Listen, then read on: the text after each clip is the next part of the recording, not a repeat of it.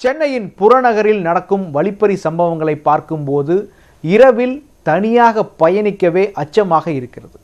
தனியாக செல்லும்போது உதவி என்று யாராவது வழிமறித்தால் உதவி செய்யலாமா வேண்டாமா என்ற ஐயத்தை இக்குற்றச் சம்பவங்கள் ஏற்படுத்தியிருக்கிறது.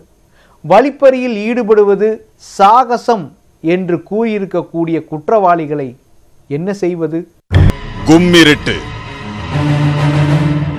ஆள் நடமாட்டம் இல்லா சாலையில் தனியாக பைக்கில் வரும் நபர்கள் வழிப்பறி கொள்ளையர்களுக்கு இதைவிட தோதான சூழ்நிலை கிடைக்குமா?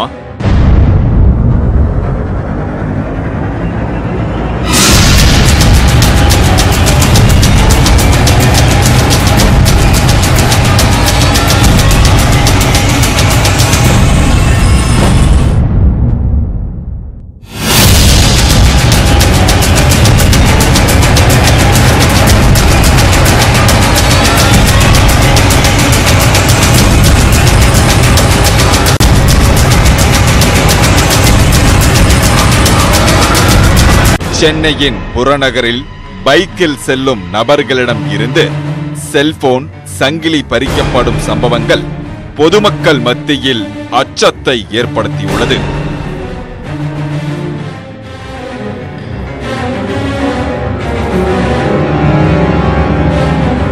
சென்னையை அடுத்த மதுரவாயில் பகுதியில் தனியாக நடந்து செல்பவர்களையும் பைக்கில் செல்பவர்களையும் குறிவைத்து குற்றங்கள் அரங்கேற்றப்பட்டதால் இந்த இடங்களில் இருந்த சிசிடிவி கேமரா பதிவுகளை போலீசார் ஆய்வு செய்தனர். இருசக்கர வாகனத்தில் வரும் இரண்டு வாலிபர்கள் சாலையில் தனியாக வரும் நபர்களிடம் முகவரி கேட்பது போல் அவர்களை தடுத்து நிறுத்தி உள்ளனர். பேசிக்கொண்டு இருக்கும் போதே திடீரென அவர்களிடம் இருந்து செல்போன் மற்றும் தங்க நகைகளை பறித்து கொண்டு தப்பிக்க பார்க்கின்றனர்.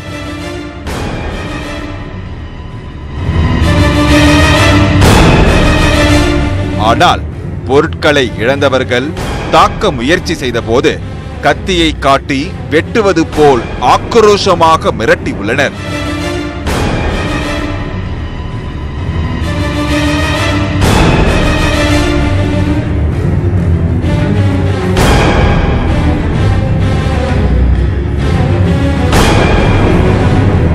அதேபோல் மதுரவாயில் பகுதியில் சாலையில் தனியாக நடந்து சென்ற இளைஞரிடம் கொள்ளை கும்பலை சேர்ந்தவர் முகவரி கேட்பது போல் அணுகியுள்ளார்.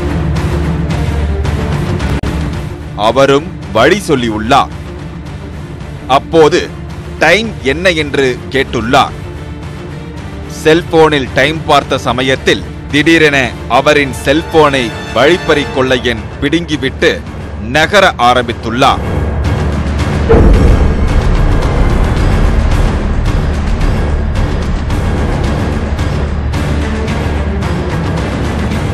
செல்போனை பறிகொடுத்தவர் எனது செல்போனை கொடுத்துவிடு என்று பின்தொடர்ந்து சென்று கொள்ளையன் கையிலிருந்து பறிக்க முயற்சி செய்துள்ளார் ஆனால் அப்போது தனது பேண்ட் பாக்கெட்டில் இருந்த கத்தியை எடுத்து அவரை கொள்ளையன் மிரட்டி விரட்டி சென்றுள்ளார்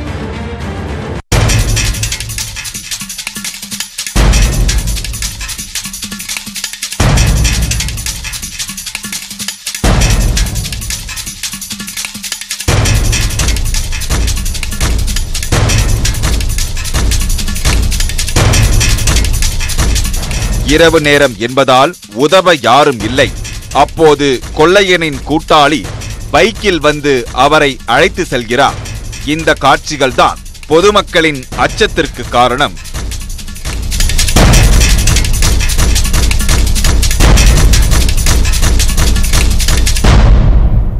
நடுநிசியில் நடமாடும் குற்றவாளிகளை கைது செய்ய வேண்டிய ஏற்பாடுகளை போலீசார் முன்னெடுத்தனர்.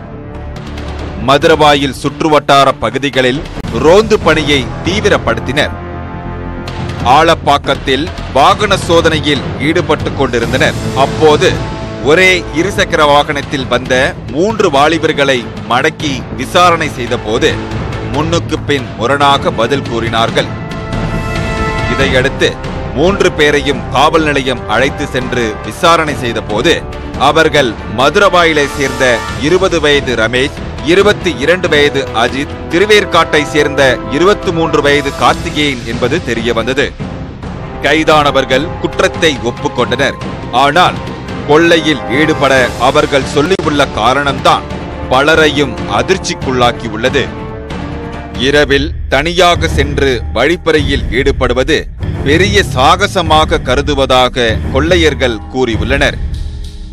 இன்னொரு பக்கம் வழிப்பறையில் சிக்கும் நகை பணம் செல்போன்களை கொண்டு அதிக விலை வெளிநாட்டு மது வகைகளுக்கு அடிமையாகியுள்ளனர். அதேபோல் பாலியல் தொழிலில் ஈடுபட்டு வந்த பெண்களுடன் உல்லாசமாக இருந்ததாகவும் கைதான இளைஞர்கள் வாக்குமூலம் அளித்துள்ளனர்.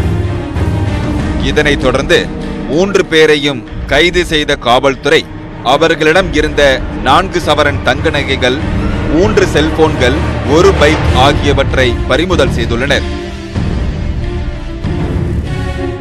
இந்த சம்பவத்தின் அதிர்ச்சி குறையும் முன்பே ஆவடியை அடுத்த பட்டாபிராமில் நள்ளிரவில் பணியாற்றி வந்த பெட்ரோல் பங்க் ஊழியரை ஒரு கும்பல் அரிவாளால் வெட்டி உள்ளனர். இருபத்தி ஓரு வயதான புருஷோத்தமன் பணியில் இருந்தபோது ஆட்டோவிற்கு கேஸ் நிரப்ப பெட்ரோல் பங்கிற்கு ஆட்டோக்கள் வந்தன. நான்கு ஆட்டோக்களில் வந்தவர்கள் அனைவரும் மது போதையில் இருந்துள்ளனர். தனது ஆட்டோவிற்கு தான் முதலில் கேஸ் நிரப்ப வேண்டும் என அனைவரும் புருஷோத்தமனிடம் தகராறு செய்தனர். இதனை ஏற்க மறுத்த புருஷோத்தமன் வரிசையில் வருமாறு கூறியுள்ளார். இதனை கேட்ட அவர்கள் ஆத்திரத்தில் ஆட்டோவில் வைத்திருந்த அருவாளை எடுத்து புருஷோத்தமனை சரமாரியாக தாக்கினர். தலையில் பலத்த காயமடைந்த புருஷோத்தமன் மருத்துவமனையில் தீவிர சிகிச்சை பிரிவில் அனுமதிக்கப்பட்டு சிகிச்சை பெற்று வருகிறார். இரவில் வாகன தணிக்கை செய்வதை போலீசார் அதிகப்படுத்த வேண்டும். அப்போதுதான் குடிபோதையில் வாகனத்தை ஓட்ட நினைப்பவர்கள் மத்தியில் அச்சம் ஏற்படும் என்கிறார்கள் ஓய்வு பெற்ற காவல்துறை அதிகாரிகள்.